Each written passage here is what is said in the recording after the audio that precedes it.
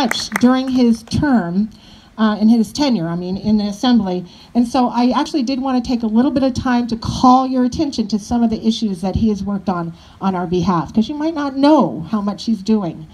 In 2015 and 16, he authored Assembly Bill 1863, which added marriage family therapist to the list of Medi-Cal eligible providers who could bill for services. Yes, let's have a big round of applause for that.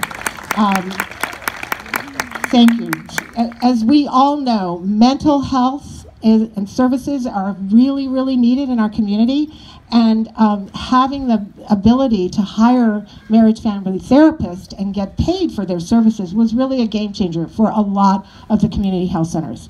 Um, we haven't quite implemented yet. Working We're working on it. See, still working on it. The the uh, implementation of the bill was delayed by Governor Brown's administration, but we are working on making it happen soon and shortly, right, Jim? Yeah. Okay. So um, I'll talk to you later, John.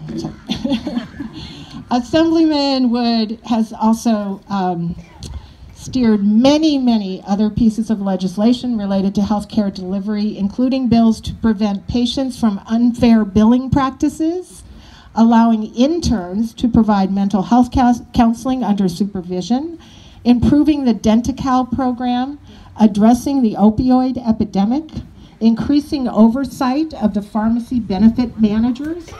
I know it's a little technical, but these are all really, really important things to us.